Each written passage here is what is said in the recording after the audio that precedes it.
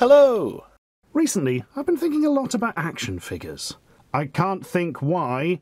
Anyway, I suddenly remembered that some time ago, like months and months ago, I bought a big old bag, stroke bundle, stroke job lot, whatever you like to call them, of action figures off of eBay. And they were just basically a random setup of um, 80s and mostly 90s action figures. And so, the time has come to go through it and see what we've got in here. I can't bloody remember. I literally looked at the listing, bought it because there were lots of them, and the price was quite good. And yeah, I haven't really looked at it since. So it's going to be a bit of a surprise for both of us. And I apologise in advance if I don't know what some of the figures are, because that is liable to occur. And I apologise in advance if I don't know what some of the figures are. We'll look them up afterwards. But uh, my knowledge of these things is usually pretty good, and I really regret saying that now because uh, it's going to set me up for a fall, isn't it? Anyway, let us begin with what is on top of the box. I can see it from here, actually. It's a monkey man. Oh, but he's got a leather jacket on. That's right. It's everybody's favourite character, Leather Jacket Monkey Man. No, Captain Simian from Captain Simian and the Space Monkeys. And I've just told you just about everything I know about this property. It was a cartoon that's all I can tell you. I've never seen it. Um, it always felt like a bit of a Bucky O'Hare knockoff, maybe. But yeah, it was about some monkeys and spaceships and stuff. Look, here's one of them now. Figure's pretty good. It's quite a chunky thing. Quite nice articulation um, on the shoulders. Could have done with some at the uh, almighty elbows there, but you know, the head moves around nicely. If if that is something you need with your monkey figures, and he's got gripping monkey foot hands or whatever they're called which is always a useful thing when you're, I don't know, sitting in your spaceship or something. Um, yeah, it does sit down all right. These things must have come with spaceships and stuff, so that would make sense. But I'm pretty sure this is the captain himself, Captain Simian. I don't know what his name was. Um, Billy. Billy. No, I've got no idea. Not seen it. But decent figure. Chunky. Like it. Um, I seem to remember the packaging of them was sort of round with um, more cardboard at the top and bottom. That's useful, isn't it? But what accessories and things they came with, I'm not sure. It's going to be space guns, and of course it's going to be space guns. You go over there, mate, because now it's time for for this beauty. Oh my god! oh, this brings back some memories. I had a full set of these figures at one stage. God knows why. Never seen the program it's from. This is Pudface Morgan because he's got a face like a pudding or something. I don't know. It's just a weird name. And he is from the Robocop TV series where he was like the head bad guy because apparently the Robocop TV series is bloody Dick Tracy or something. I mean, could you get a more Dick Tracy looking villain? But no. Apparently he, um, yeah, is in future Detroit with his spotty tie and his frankly incredible hat and suit combination. Yep. And Robocop would have to tell him um, that it was his move and that he was a creep. And you know what? I think he's right. Um, again, quite chunky 90s figures. Um, he's got, it's, his head doesn't move at all, but um, he's got no neck, so that kind of makes sense. Maybe he's getting on a bit and doesn't want to twiddle his head from side to side because he'll end up cricking his neck. I know the bloody feeling. Um, yeah, you've got full on articulation of the knees and the elbows and that. It's quite nice. If I remember, it came with a load of guns and things. Most of these did. The most interesting figure in this range was they had one of it was called Commander Cash or something, who was like this OCP mascot type character. But they actually did a figure of him. I'm not sure if he appeared as like a human in the series or not. Or he seemed an odd choice. He's a very cartoony figure, whereas these are, you know, based on actors and stuff. But there we are. Pudface Morgan, because Clarence Boddicker was dead. Next up, it's a bloody Minotaur, isn't it? it's got very large horns. An interesting design, this. And it's got disco boots. Oh, amazing. Oh, and action feature. Oh my god! it's 70s Italian disco Minotaur.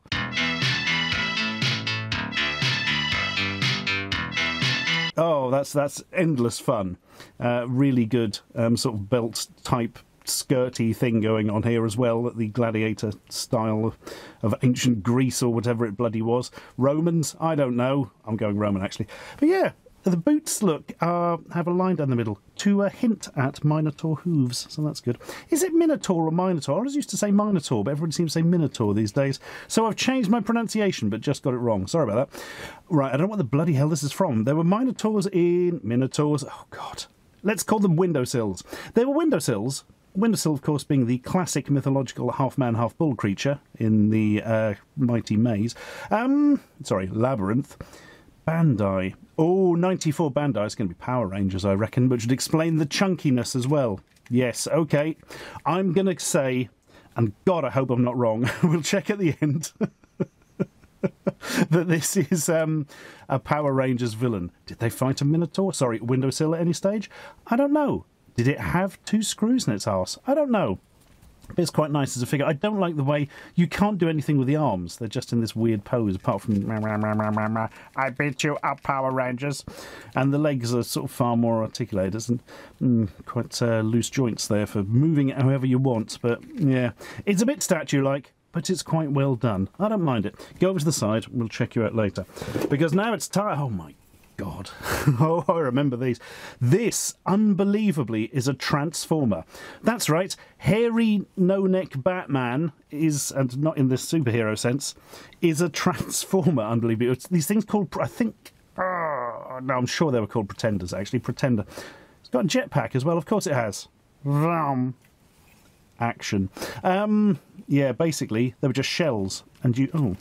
You supposed to. Oh, yeah, there we are. You open them up, and predictably, the bloody transformer's gone. It had like a really crap, thin transformer in it that just sat inside here and had some spindly legs that would go into the leg bits, and that was it. And it would climb inside this shell, and they're like, haha, nobody will suspect I'm a robot now. I'll just walk down the road like an eight foot tall bat monster and be completely inconspicuous. Bloody hell. It looks like his internal organs are leaking out of his body. That is a bad thing. Yeah, I think these are quite um, n- not not that popular amongst Transformers fans. They're sort of interesting from a design point of view, but they're hardly the nice stuff that the Transformers were known for. Um, I'm sure I have one of these somewhere with the robot in, but not handy. They always had like little things like there'd be a belt that fits over, and presumably something goes in these little holes on the shoulders as well. But I couldn't tell you what off the um, top of my head. Anyway, I don't know what on earth this one's called. There was a transformer called Ratbat, but that was one of those little things that turned into a cassette tape and went to live in Soundwave's guts. So over there with you, as we bring on this, oh god, this is a Power Rangersy thing, but it's not Power Rangers, is it? Right, well, it's not Kamen Rider, it's not the Beetleborgs thing, it's going to be VR Troopers, I think. And that is all I can tell you about this. I don't know what the character's name is or anything. Um, that it was basically one of those um, series where they took a load of Japanese TV stuff and re-edited it and stuck some CGI on top, and it was a new series. If I remember, right, I could be wrong on this, I could be getting this confused, but this series was actually pretty popular, but they ran out of the Japanese source material really quickly, so there's only like a couple of series of it.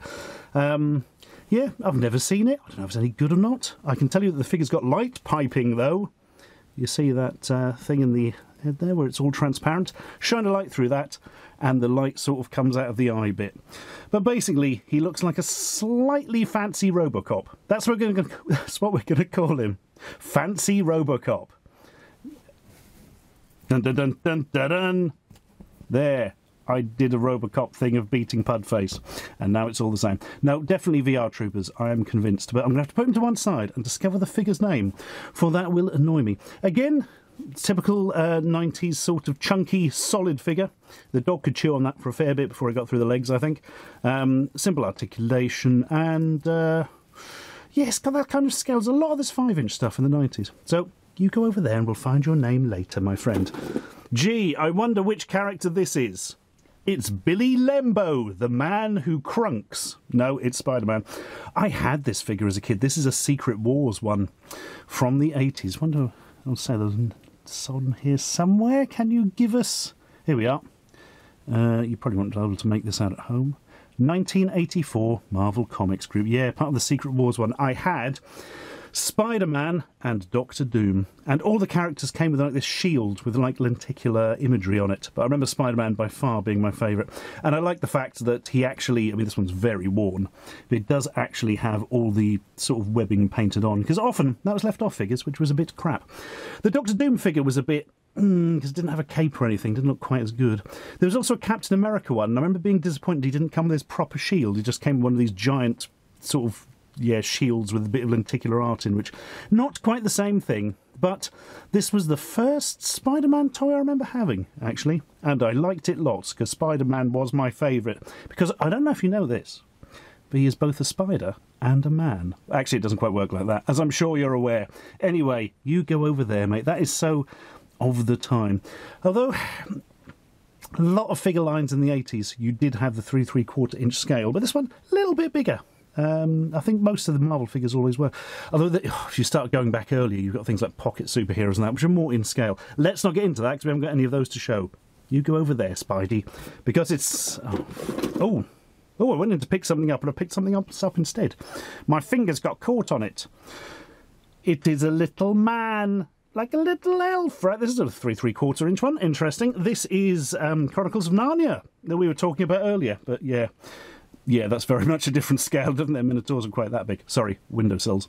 Um, which one's this? Edmund, Richard, Julian Goggleworthy the fourth. I can't remember. I think um, yeah, oh, I'm going to go. F- no, Edmund's got dark hair, hasn't he? I can't remember the names of the kids from Narnia. They were all a bit sort of um, generic, you know, famous five type stuff, weren't they? But uh, this is based on the films that I think it was Disney put out. The um, or did Disney put out like the first two of the films? They did. Um, good God, what did they do? Um, start with Lion, the Witch, and the Wardrobe, obviously. Then Prince Caspian, then they did Voyage of the Dawn Treader. I think Voyage of the Dawn Treader, although having the same sort of actors and the same uh, visuals, etc., was actually a different production company. Am I right on that?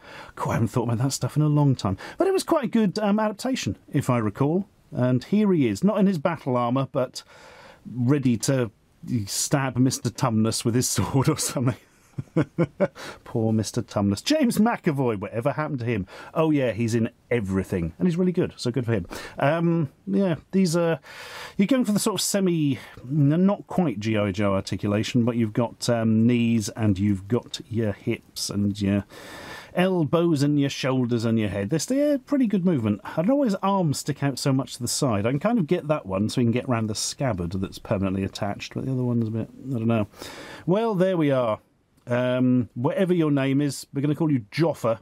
You get over there because it's time for dun, dun, dun, the bloody Happy Meal. There's always a Happy Meal toy in these. when you get a load of figures, there's always one, and I'm sure this is a Happy Meal toy. Yep, made from McDonald's by Disney. Oh God, now is this John Smith from Pocahontas, or is it the one from the Hunchback of Notre Dame?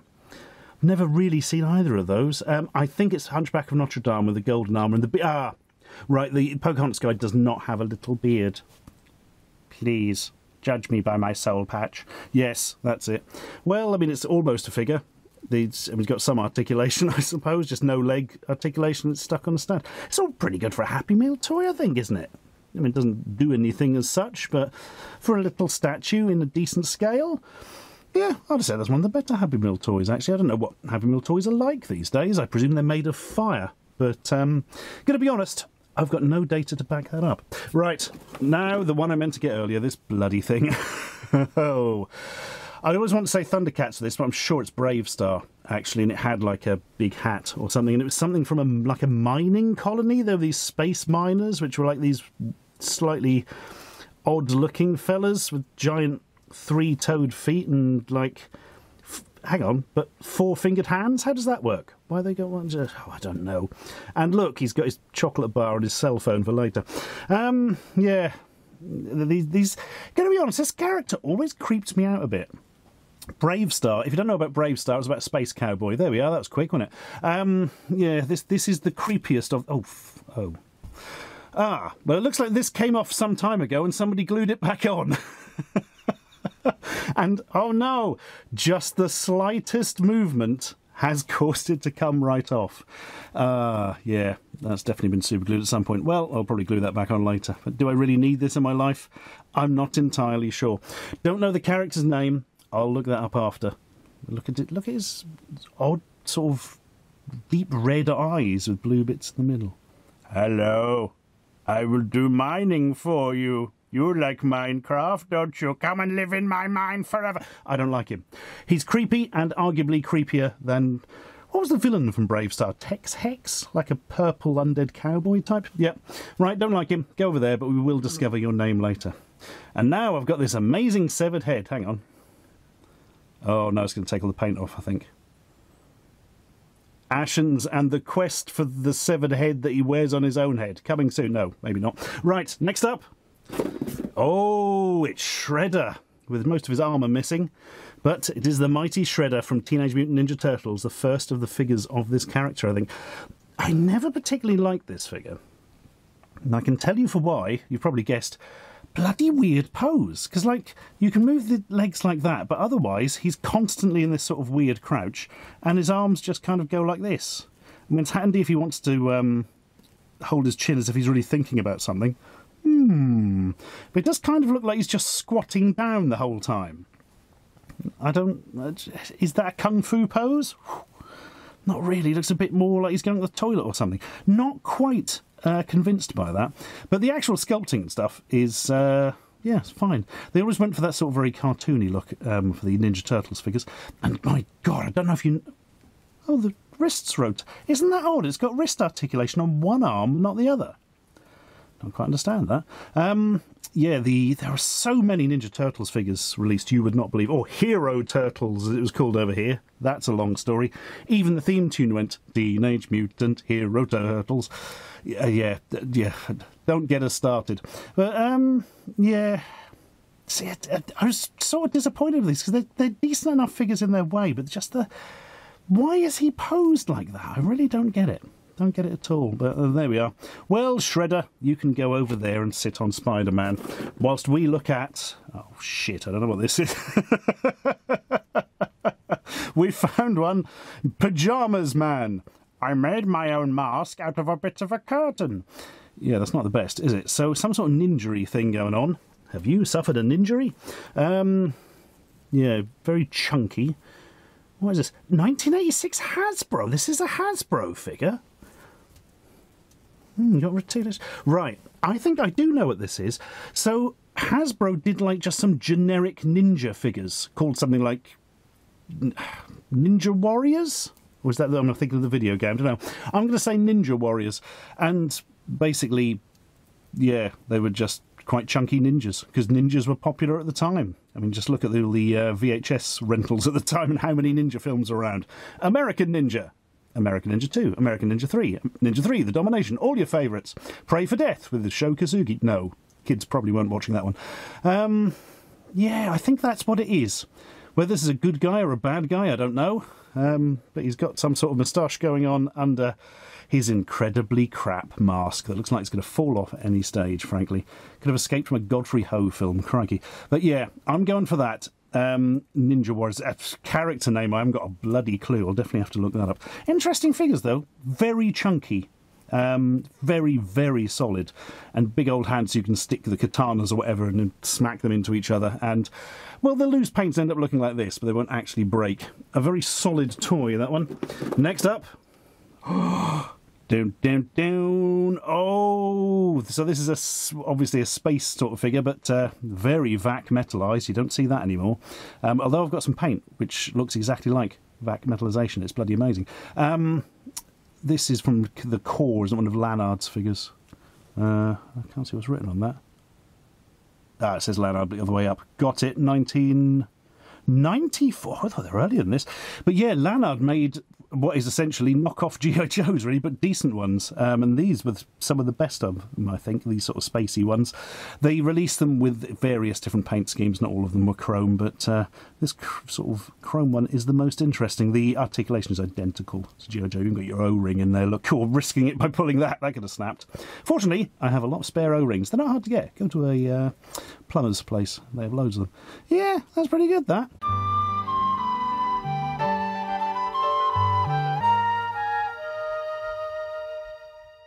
Oh, the spaceman could not handle the jump cut. I don't think these characters had names. I'm not sure. Um, they usually came on like, I think they came packaged in like three of them together or something.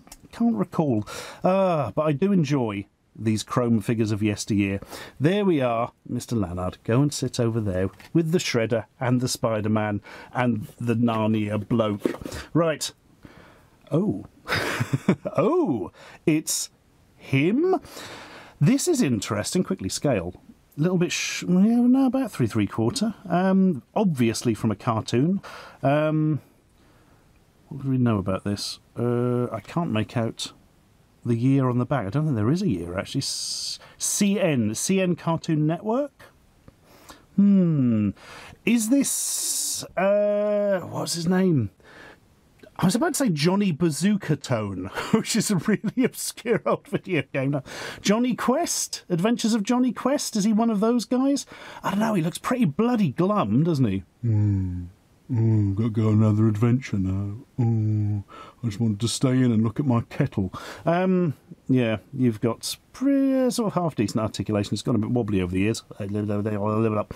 Um, I'm going to guess Johnny Guest. No, I'm, I'm going to guess Jonny Quest. Yes, that's exactly what I meant to say. Um, I'm going to have to look that one up afterwards, though. I am not at all sure. Um, as to which characters, well, I haven't got a bloody clue. I don't really know anything about Jonny Quest. I think it was based on like a 60s franchise or something. I'm not even sure about that, actually. But it was definitely a cartoon, and I'm guessing the CN is Cartoon Network, so I think that's probably a thing. Yes. Decent figures, though. The. Um, although they're a very cartoony style, the sculpting and the especially the application of the eyes, they're very, very clean. Nice. Here we are. Sit on the side and we'll look you up later. Tell you what.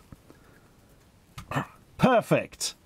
Just what everybody. Just go over there. You're freaking me out. Right. It's a gladiator. Can you match the power of the gladiators? Oh, no, it's an American gladiator. That's interesting. I didn't know. Hmm, so there was a British. Oh, I'm guessing this guy's name is Turbo. Either that or it just says Turbo in his pants and his name was actually Humdinger or something. Um, yeah, there was a British version of Gladiators, and I'm sure they had figures. I think they might have been bigger than this. This is interesting that you could get the American Gladiators figures over here. I do see them on, sort of turn up on things occasionally, but there we are. So he can move his pugil stick or whatever around, and yeah, I think the British ones had the same sort of um, setup where they're just you permanently got hands like they're trying to bloody ride a motorcycle or something, and you can just put them next to each other and go meh meh meh. Is the what is the scale on that? Um, yeah, but no, he's a bit taller than three three quarter inch. Actually, he's like four and a half inch maybe when he's up. I don't know. I don't know because they're all squatted down, so it's hard to say, isn't it? But there we are. This apparently is Turbo. Was he one of the popular American Gladiators? I've got no idea. They did show American Gladiators over here, but it was like at two o'clock in the morning on a Friday or something just to fill schedules. You know, it didn't really become a thing till the uh, British version came out.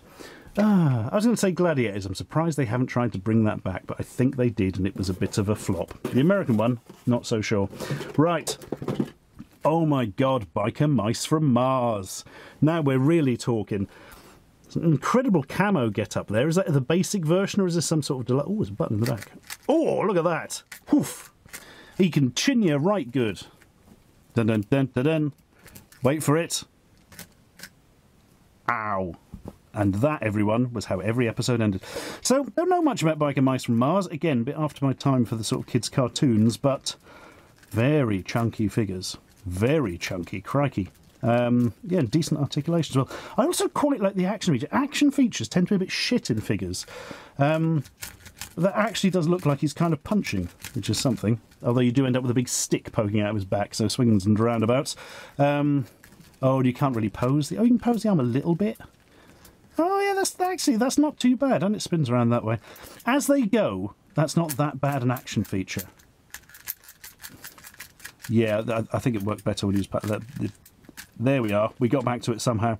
This character's name, I've got no idea. He's the one with two earrings in that ear, a bit bitten out of that ear, antenna. They all had antenna. Oh, the antenna go in. Don't see the point of that, but nice bonus. Not going to break in that case, more solid.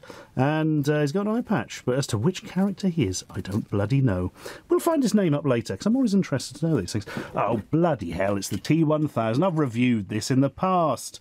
T1000 figure from the Terminator 2 series looks absolutely nothing like Robert Patrick, and they thought, hmm, you know what? He's often looks like a motorcycle policeman, so we'll sculpt him like that. But how do we get across the whole, hmm, he turned into liquid metal and morphs into other shapes thing? I know. We'll have it so his arse flies off and fires missiles. Uh, it's still one of the weirdest concepts I've ever seen for a figure. Who thought it was a good idea to have his arse fly up to where his head is and fire a rocket? It just. No idea. Anyway, look back at my old Terminator 2 video if you want to see more of that. And finally, shitting hell, one I haven't got a bloody clue on. What the hell is this? Melting porridge, man. Sort of a medieval look to it. Oh my god. What the. What the hell is this? Why has he got spikes in his head that control some massive other. I defend myself with my spikes. It looks more like a tray. It's a trough for when he's going to the cinema and just fill it full of popcorn and go. Um, yeah, that's that's interesting. Um, you got the articulation's weird. His arms only go up and down like this, so he can just flap his arms. He's got a tray that comes out. And the legs have a bit more movement, but very chunky 90s feel to this. What can we find? 19, I think that's 1992 M4 China. I don't have a bloody clue on this. Is that to put more spikes in on this back there? I don't know. Well, no, because that'd get in the way, wouldn't it? I haven't got a bloody clue what this is. No, I've been completely beaten on the.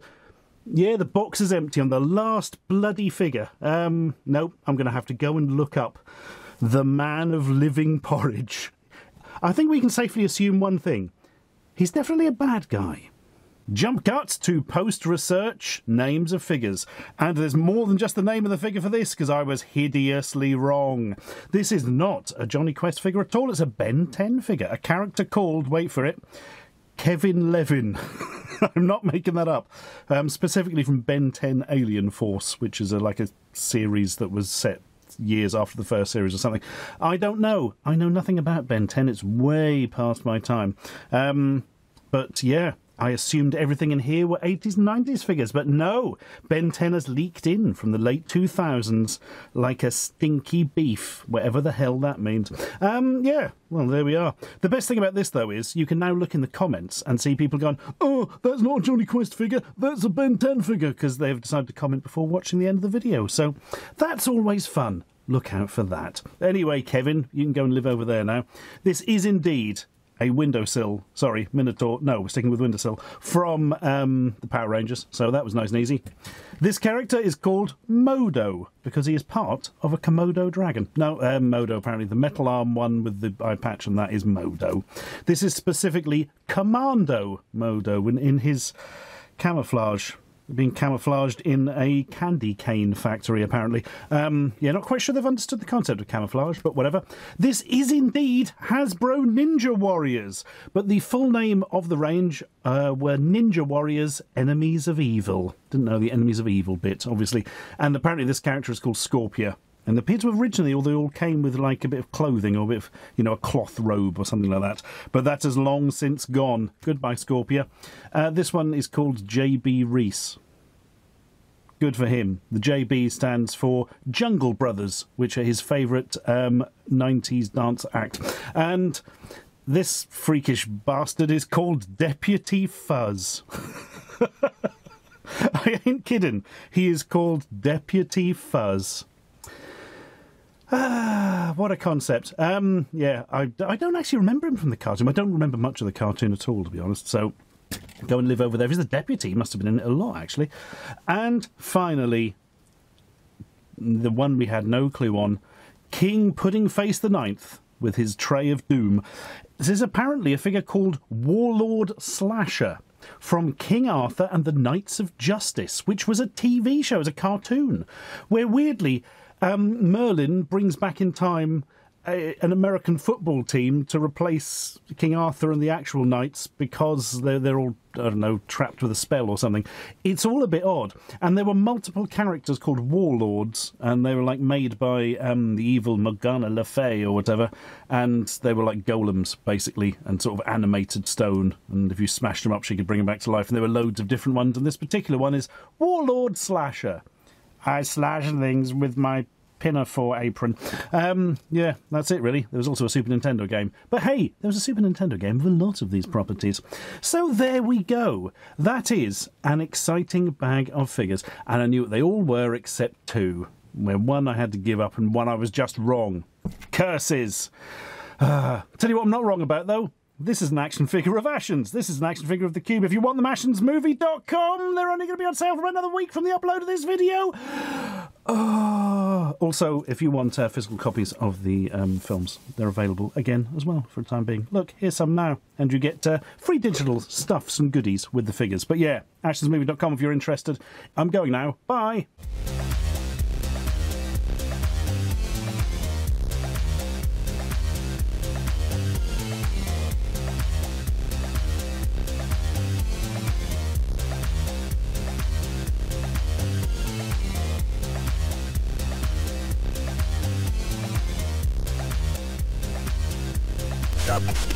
Subscribe for more.